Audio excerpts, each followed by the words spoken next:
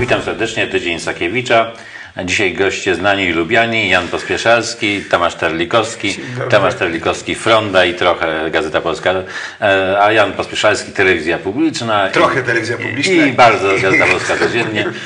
Jak Państwo wiedzą, łączymy wszystkich e, w Gazecie Polskiej. W Gazecie Polskiej. Zaczniemy od e, oczekiwanej wprawdzie, ale jednak szokującej decyzji przyspieszone wybory przewodniczącego w Platformie. Czy Donald Tusk jest chory? Trzeba wybrać nowego przewodniczącego. Donald Tusk nie jest chory, natomiast tak, temat e, oczywiście rozpala emocje wszystkich, no bo jeżeli w obozie władzy po raz pierwszy, nie, nie po raz pierwszy, ale po raz pierwszy z, tak, z taką intensywnością narasta wrzenie i e, dochodzi do kolejnego próby do prze, przesilenia, z której oczywiście na razie dzisiaj nic nie wynika, ale już wiadomo, że tej sprawy nie da się zamieść pod dywan, mimo doniesień, że podobno Tusk konfrontował się ze Schetyną, a Schetyna siedział skulony i nic nie mówił, że Grupiński i Halicki bronią e, Schetyny.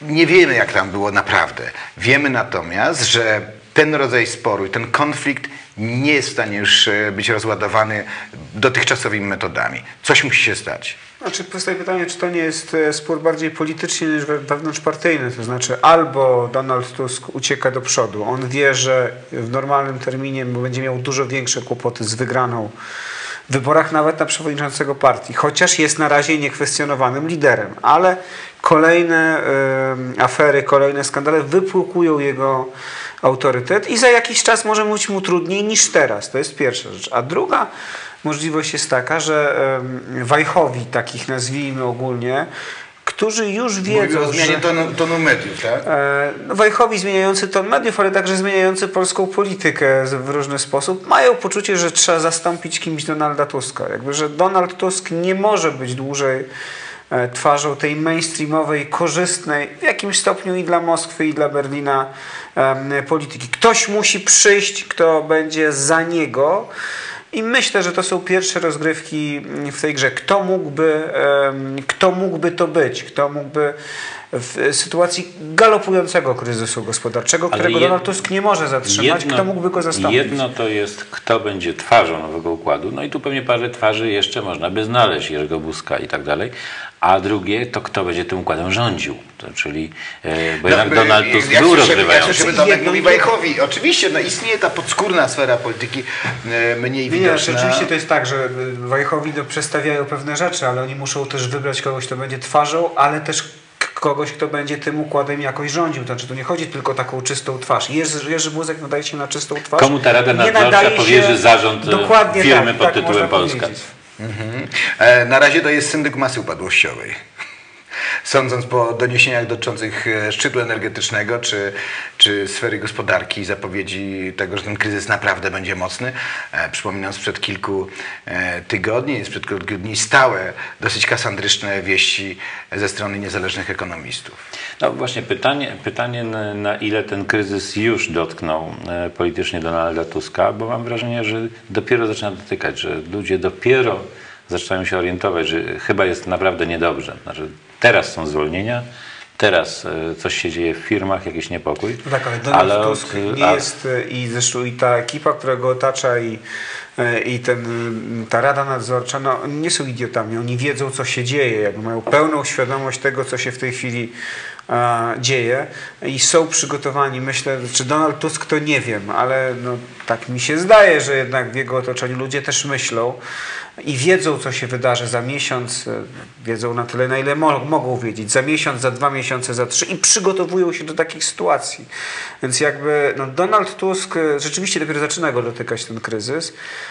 ale jest dość oczywiste, że kogo ma dotknąć, jeśli nie jego. No on jest jakby takim, e, taką kluczową osobą w tym układzie trudno będzie mu zwalić na PiS, Dokładnie. chociaż pewne próby widać. No, widać pewne próby, ale to będzie trudne. Myślę, że nawet będzie mu trudno zrzucić e, winę na któregoś ze swoich ministrów, ponieważ e, są to postacie już ja tak kompletnie bezpłciowe, 70. Że, że, trudno ich o cokolwiek oskarżyć. No, Wincent Rostowski oczywiście jest, e, żyje, funkcjonuje.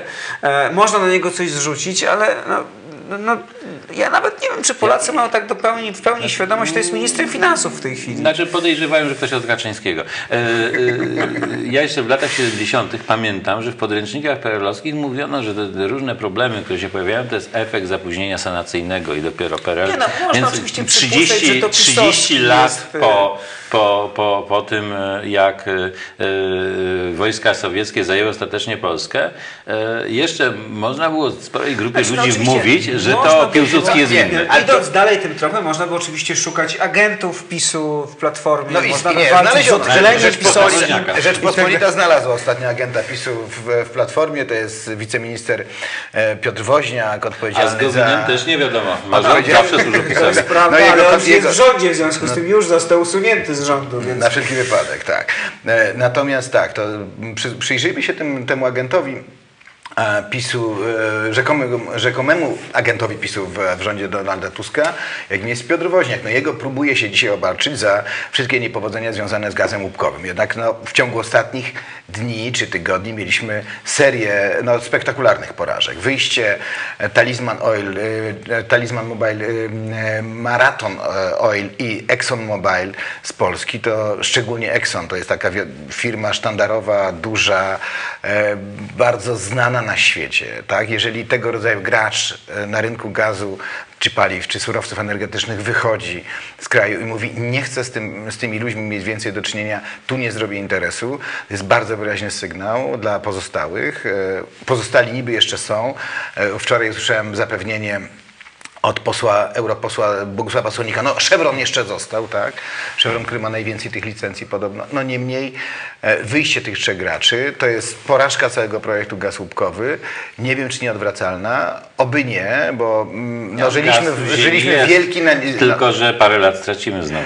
Parę lat stracimy. Y, To, co dzisiaj ze strony opozycji słychać, to jest to, że nie było regulacji, nie, do tej pory tych regulacji nie udało się zrobić. Dlaczego się ich nie udało zrobić i kto na tym zyskuje? Do, to pytanie jest bardzo zasadnicze. Znaczy, Kto? to pytanie jest, ma oczywistą chyba odpowiedź, że zyskuje Gazprom. Ale zyskują Rosjanie. szukając y, analogii historycznych, można jeszcze jeden scenariusz rozważyć, ale on mimo wszystko wymaga usunięcia Donalda Tuska. To znaczy Platforma Obywatelska może pozostać niestety przy władzy, tylko pod warunkiem, że usunie Tuska i poszuka, tak jak po śmierci Mao Tse-tunga szukano w Chinach, poszuka bandy czworga, którą będzie można oskarżyć o wszystkie zbrodnie e, wybitnego skądinąd przywódcy, ale no, jednakowoż Odpowiedzialny za niezliczone cierpienia i morderstwa. I jakby to powiedzieć, ja mówię teraz o Donaldzie Tusku, a nie o Mao Tse-tungu. Trzeba wskazać tą bandę czworga. I myślę, ale to jednak wymaga Donald odsunięcia, odsunięcia, odsunięcia Donalda Tuska, to znaczy mm, wy y, delegowania go z kraju. On nie może tutaj zostać i pełnić tutaj funkcji. Musi być na zewnątrz, żeby można było rozliczyć A na, a na rozwiązanie, tak jak z Mao Tse-tungiem, gdzie ten bardzo wiekowy człowiek, no wreszcie odszedł, też nie, nie, że nie, ja za bardzo chcą liczyć, bo to zbyt żeby- długo. Że, tak, że, bo oczywiście mówimy cały czas o Platformie. No raczej nie mogą liczyć na to, że on e, przyczyn że, że będzie takie rozwiązanie, w związku z tym muszą znaleźć mu godne miejsce, w którym będzie mógł em, funkcjonować jako autorytet zewnętrzny wobec Polski i wtedy możemy oczywiście liczyć bandę czworga, odchylenie prawicowe, lewicowe, pisowskie albo PSL-owskie, wszystko jedno, ale wtedy jakby możemy, czy sportowe na przykład, Joanna Mucha wtedy mogłaby i, i, i Sławomir Nowak mogliby uczestniczyć w bandzie dwojga, ale to wymaga jednak e, przeniesienia Donalda Tuska gdzie indziej, a na razie to jest chyba główny problem e, Platformy. Nie bardzo wiadomo, gdzie go przenieść. To znaczy, pojawiły się takie głosy, że Europa, że coś Na razie tylko- przesunięto, na Europa razie go nie przeniesiono termin rozstrzygnięć na okres wakacyjny. E, 29 czerwca to już niedługo wakacje, wszelkie wakacje, konsekwencje. to koniec roku, e, Wszelkie konsekwencje już będą e, w sezonie ogórkowym. Mm, Ludzie wyjadą, to może nie będą. i źle, dlatego że sezon ogórkowy oznacza, a na razie wygląda na to, że media jednak nawet do tej pory te bardzo przychylne platformy Nie odpuszczą. Nie odpuszczają. No jeżeli nawet już polityka publikuje tekst y, o pomysłach ekonomicznych Wincenta Rostowskiego, w którym y, y, przypomina genialny pomysł, żeby opodatkować kawę w firmach i że teraz będziemy doliczać pracownikom każdą wypitą kawę do pensji, Ale a potem od łyżeczki odliczyć... kawy, czy od No właśnie to nie wody? jest jasne. No myśmy tutaj się zastanawiali z Piotrem Gońskiem, czy to powoływać na przykład Państwową Inspekcję Kawy i Herbaty, czy będziemy zatrudniać dodatkowego Tak, to jest pracownika. Aktywna walka z bezrobociem. E, Więc jakby no, było różne możliwości są, etatów ale jeśli już polityka z tego się wyśmiewa, no to już nie jest dobrze. pokawek. Pokawek i po herbatek. Po herbatek. Po herbatek też będzie, bo herbata też kosztuje. Myślę też o innych świadczeniach już takich bardziej Papier osobistych. No właśnie, jak to wyliczyć? Po papierek. Po papierek. W momencie, kiedy władza jest zajęta samą sobą, Platforma y, kisi się we własnych, ugrzęzła czy uwikłała się już nie, nierozwiązywalne własne problemy, to trochę było jak z tym socjalizmem, tak? że socjalizm bohatersko zwalcza problemy, które sam y, generuje, które sam y, wytwarza. Ludzie biorą sprawy w swoje ręce, obywatele i jesteśmy na ostatniej prostej, niesamowicie budującej inicjatywy publicznej, społecznej, realizowanej przez e, środowisko Rzecznik Rodziców, ale już przez całą Czyli masę. mówimy o akcji Ratuj Maluchy. Ratuj maluchy i, Kiedy i to starsze dzieci piękne, też. znane twarze aktorów y, mówią, że rząd coś źle zrobił, y, raczej to Tuskowi też nie pomaga, ale y, z akcją też nie wiadomo co będzie. No, e, e, brakuje jeszcze 100 tysięcy podpisów. Może dzisiaj już można mniej. podpisać? Można ze strony internetowej rzecznikrodziców.pl trzeba pobrać formularz i po prostu wypełnić, podpisać. E, można również złożyć podpisy stroną internetową www.rzecznikrodziców.pl jest komplet informacji. Tam przeczytamy, co z tym dalej Dokładnie. Czyli dokładnie biorę, podpisuję, dalej wysyłam. Mało tego, w najbliższych dniach Gazeta Polska codziennie będzie też informowała o tym, jak można wesprzeć tę inicjatywę. Krótko mówiąc, na czym polega inicjatywa? Inicjatywa polega na tym, żeby rodzice mieli większy wpływ na to, jak i w jaki sposób kształcone są nasze dzieci. To nie jest kwestia tylko te, że zostały upchnięte, czy na siłę wypchnięte Dobrze, do szkół. do końca wytłumaczmy o co chodzi. Chodzi o to, żeby rodzice... Zaczęło się od akcji decydowa- sześciolatków. Tak? Zaczęło się od akcji sześciolatków, że minister Hall kompletnie nie uwzględniając, tak, a później Szumilas, nie uwzględniając e, zdania rodziców bez konsultacji społecznych, e, prze, wymusza na Polakach szkodliwą, nieprzygotowaną i kompletnie bezsensowną reformę, która być może dla niektórych dzieci byłaby ok, ale dla większości dzieci w sposób logistyczny. jeszcze, jeszcze jest gorzej. Znaczy, bo to jakby możemy się teraz spierać. Ja generalnie jestem przeciwko posyłaniu sześciolatków do szkół, ale można się spierać. Są argumenty za tym, żeby sześciolatki poszły do szkół i są przeciwko temu. Problem jest inny. Polska szkoła nie, została przygotowana przygotowana. do przyjęcia sześciolatków. Tak, logistycznie. Polski rząd mówił o tym, że to mają zrobić samorządy. Samorządy nie dostały na Na to to pieniędzy. W związku z tym tego po prostu nie zrobiły. W większości szkół, i przyznają to dyrektorzy otwartym tekstem, jak się z nimi rozmawia, e, podwa- zastrzegając, że nie mogą tego mówić publicznie, bo, będą, bo okaże się, że rozmawiali z kimś z PiSu i wtedy ich wyrzucą z roboty. Ale oni mówią, nie przygotowaliśmy, nie ma odpowiednich pisuarów dla chłopców i że pisuary dla chłopców jeszcze mogą być. Ale kącików nie ma toaletów, nie ma, nie ma zabawek, nie ma ławek tak. odpowiednich, odpowiedniej wielkości. Mało tego, z perspektywy rodziców sprawa wygląda w ten sposób, że jeśli rodzic pośle dziecko do zerówki e, pięcioletnie, a takie dziecko ma chodzić do zerówki, bo sześciolatek ma iść do pierwszej klasy, to co to oznacza? To oznacza, że rodzic musi je odebrać z zerówki dokładnie o godzinie, w której kończą się zajęcia. Zajęcia w zer- w zerówce trwają zazwyczaj 4,5 godziny, ponieważ Szkoła nie jest w stanie zagwarantować- Świetlica nie jest przystosowana dla pięcioletnich dzieci i one tam nie mogą przebywać. Nie ma nawet stosownych E, dokumentów. to jest- W związku z tym e, spór, o który próbuje toczyć Platforma, mówiąc, że my dyskutujemy o tym, w jakim wieku dzieci są gotowe do pójścia do szkół, jest kompletnie bezprzedmiotowy, ponieważ to nie jest spór o to, czy sześciolatki powinny pójść do szkoły, czy nie, tylko w tej Czy chwili toczy się spór, zadbać o nie tam czy szkoły są przygotowane na przyjęcie sześciolatków i pięciolatków, dodajmy, bo to nie chodzi tylko o sześciolatki. Do zerówek mają trafić pięciolatki. Tak. Bo sześciolatki idą do pierwszej klasy. I teraz co? Elbanoscy zrobili badanie, zrobili e, szeroką ankietę. Z 600 ośrodków w całej Polsce spłynęły dane. Te dane były tak zatrważające, czyli oto czynnik społeczny. Ludzie na, na, za własne pieniądze wykonali pracę, którą powinno zrobić ministerstwo, którą powinno zrobić kuratoria.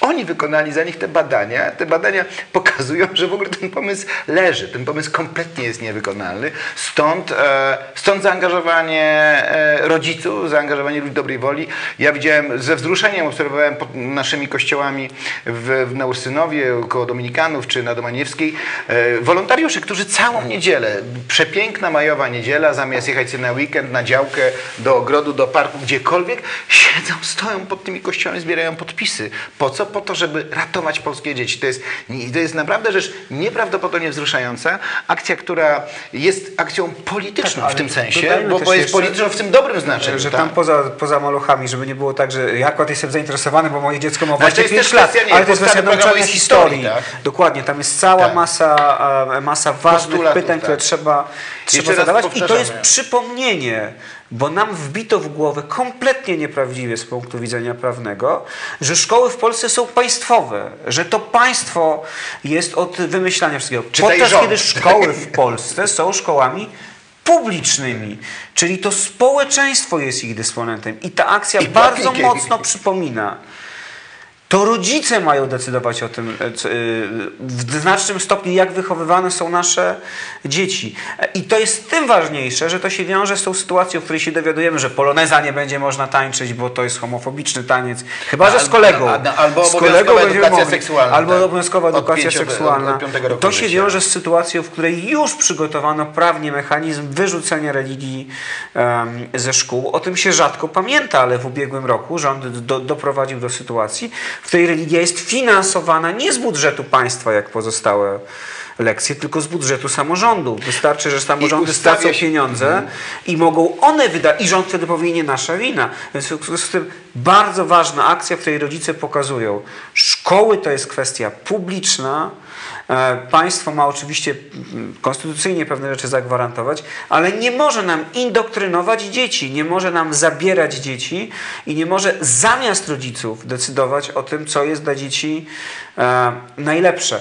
Ja bym powiedział, że to jest być może jedna z kluczowych walk światopoglądowych e, w tej chwili. My sobie tego czasami Ale nie uświadamiamy. akcja edukacyjna, bo moim zdaniem wielu rodziców po raz pierwszy będzie musiało się opowiedzieć zaraz. Aha, czyli ja jestem odpowiedzialny również za kształcenie dziecka. Ale to- Oni abdykowali kluczowe, tak. dawno, myśmy jako rodzice często abdykowali. Szkoła wykształci, wychowa, nauczy języków I e, przypilnuje. i przypilnuje, tak? Okazuje się, że nie. Nie wy- wykształci, wychowa, ale po swojemu. Dokładnie, powoli A kto będzie to układał? jakby, że, że wychowanie, oczywiście szkoła pomaga w wychowaniu, ale żeby ona pomagała w wychowaniu, to musi reprezentować przynajmniej podobny system wartości jak większość Polaków, bo powiedzmy sobie szczerze, większość Polaków nie chciałaby, żeby w szkole w pierwszym, pierwszej parze poloneza tańczył pan dyrektor z panem od WF-u. Znaczy, no, mam wrażenie, że tu jednak większość Polaków by tego nie chciało. Albo żeby pan od WF-u się przebrał za panią i y, szedł w pierwszym rzędzie z panią od polskiego przebraną za pana. No,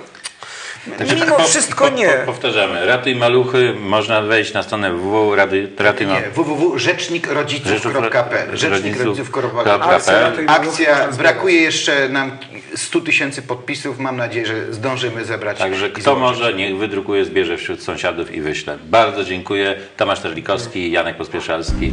A ja, Tomasz Sakiewicz, zapraszam za tydzień. Dziękuję bardzo.